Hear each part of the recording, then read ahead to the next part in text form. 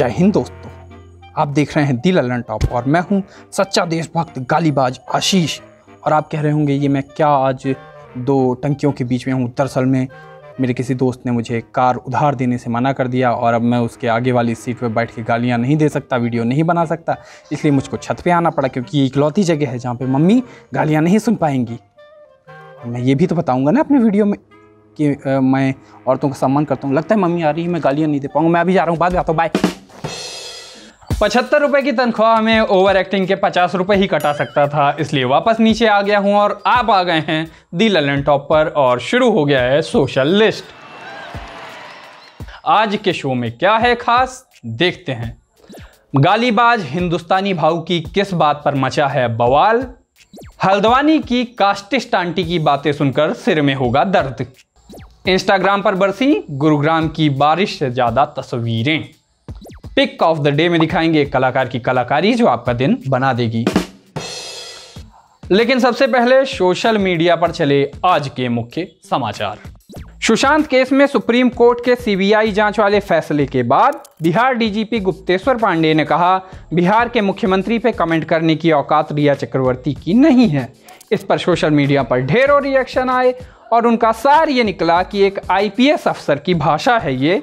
इस पर कोई रिएक्शन दे इतनी सोशल मीडिया की औकात नहीं है। ट्विटर पर सुबह सुबह ट्रेंड हो रहा था एक शब्द एड्स जैसी। नज़र आया कि जेल में बंद एक कथित संत के शिष्य ये दावा कर रहे हैं कि मर्यादा में रहकर भक्ति करने से कैंसर और एड्स जैसी बीमारियाँ ठीक हो जाती हैं। अब ये लोग कह रहे हैं तो हो जाती होंगी, ठीक हो ही रही हैं तो थोड़ा कोरोना का भी इलाज बता दें। अब चलते हैं ट्विटर की ओर। ट्विटर पर ट्रेंड हो रहा था हिंदुस्तानी भाव मानव सभ्यता के विकास के साथ इंसानों का एक ऐसा ग्रुप भी नज़र आने लगा, जो हमेशा मिलता है कार की अगली सीट पर। यहाँ पे बैठ के ये देशभक्ति की बड़ी बड़ी बातें करते हैं और महिलाओं का सम्मान करता हूँ, ऐसी बातें कहते हैं, लेकिन साथ के साथ गालियाँ देते जाते हैं। अब ऐसे भावुओं को जब भाइयों का समर्थन मिल जाता है तो वो आपको कभी कभी टीवी वगैरह पे भी नज़र आ जाते हैं। फ़िलहाल हिंदुस्तानी भाव की बात इसलिए हो रही है क्योंकि उसने इंस्टाग्राम पर एक वीडियो बनाकर धर्म का अपमान करने वालों को, उसके अकॉर्डिंग धर्म का अपमान करने वालों को मारने की बात कही। लोगों ने इस पर ट्विटर पर ढेर सारी खरी खरी बातें सुनाई। जैसे इन सज्जन ने बताया कि विडंबना यह है कि ये लोग एक ही लाइन में भगवान का भी नाम लिखते हैं और उसी लाइन में गालियाँ और अपशब्द भी लिखते हैं और दूसरों को ये सर्टिफिकेट देते हैं कि ये धर्म के बारे में ऐसा कह रहा है या वैसा कह रहा है। लोगों ने इंस्टाग्राम को भी घेरा और पूछा कि ऐसे लोगों को वेरीफाई करके ये वैधता कैसे दे देते हैं। लोगों ने इसे हेट स्पीच बताते हुए इसकी तुलना नाजी जर्मनी से भी कर डाली। अब कहा यह जा रहा है कि पुलिस एक्शन ले, ये प्लेटफॉर्म एक्शन ले जहाँ ये वीडियोज़ डालते हैं और ऐसा जहर फैलाते हैं। और उधर फेसबुक पर भी ऐसा ही जहर फैला है। हल्द्वानी के बिंदु खत्ता इलाके की एक महिला अपने होने वाले पड़ोसी से लड़ रही थी। इस बात पर लड़ रही थी कि उसने उनके बगल में ज़मीन खरीद ली और कोट एंड कोट वो निचली जाति के हैं। इस बात से वो इतना ऑफेंड थी कि उन्हें बुरी बुरी बातें कह रही थी। अब ये वीडियो जो है सोशल मीडिया पर वायरल हुआ। क्या रिकॉर्डिंग कर रहे हो? अरे। मैं मार दूँगी। अरे क्या है? तुम्हारा चक्कर ये बताओ। मेरे को यहाँ पर माहौल अच्छा नहीं लगता के सामने। तुमको तो बोलो अभी चल जाएगा बता। के सामने माहौल अच्छा नहीं लगता। यहाँ पर मेरे सब इस्तर मित्र लोग आते हैं। बात चल जाएगा पता चल जाएगा। हैं? आपको सोच समझ के रखना चाहिए था। मेरे से क्यों नहीं पूछा जिसमें कल वो जोशी आया था? एकदम कास्टिस्ट बातें कहते हुए ये महिला लड़े जा रही थी। ये कह रही थी मुझसे पूछे बिना ये ज़मीन क्यों ली? और इनका ये कहना था यहाँ अच्छे लोग आते हैं और एक पर्टिकुलर जाति के लोगों के ज़मीन लेने के कारण उनको वहाँ पर अच्छा नहीं लग रहा है। अब पुलिस ने क्या किया कि पुलिस के पास जब शिकायत गई तो इनके खिलाफ जाँच वगैरह शुरू कर दी है। लेकिन सोशल मीडिया पर आया रिस्पॉन्स खासतौर पर उन लोगों का जो पहाड़ों पर रहते हैं।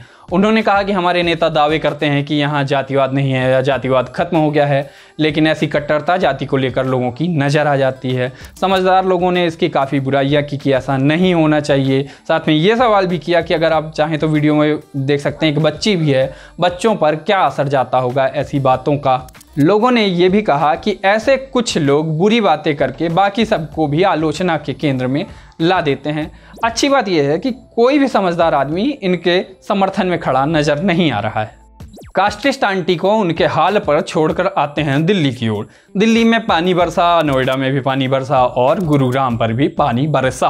गुरुग्राम में पानी गिरा और इंस्टाग्राम में तस्वीरें, ढेर सारी तस्वीरें आई, जिनमें नज़र आ रहा था कि कहीं पे ओवरब्रिज पे पानी, कहीं सड़क पे पानी, लोगों के घरों में पानी घुस गया था और बालकनियों से लोगों ने तस्वीरें खींच खींच के डाली कि सड़कों पे कह रहे थे, नाव चलवा लीजिए आप यहाँ।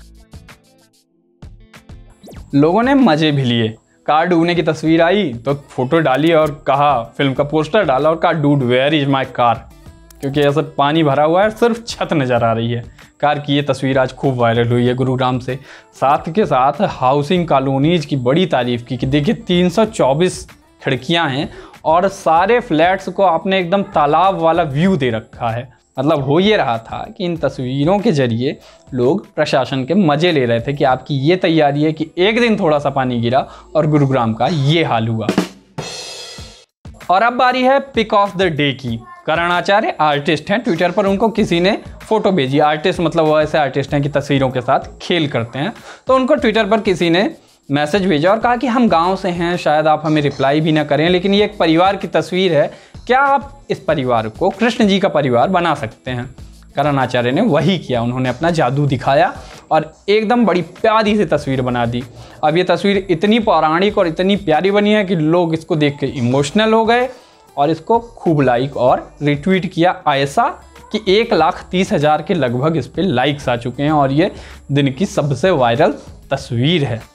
बाकी करण आचार्य के बारे में आपको बता दें, इनकी तस्वीर आपने ज़रूर देखी होगी। एंग्री हनुमान वाली, वो जो कारों के पीछे लगी रहती है तो वो इन्हीं की बनाई तस्वीर थी। वो एक वेक्टर स्केच था जो पूरा नहीं हो पाया। इन्होंने अपने दोस्तों को दे दिया, वो झंडे पे लगा और इधर उधर वायरल हो गया। आज का शो आपको कैसा लगा? कमेंट बॉक्स में बताइए। वीडियो को लाइक भी कीजिए। अनलाइक भी करेंगे तो आपका नुकसान है।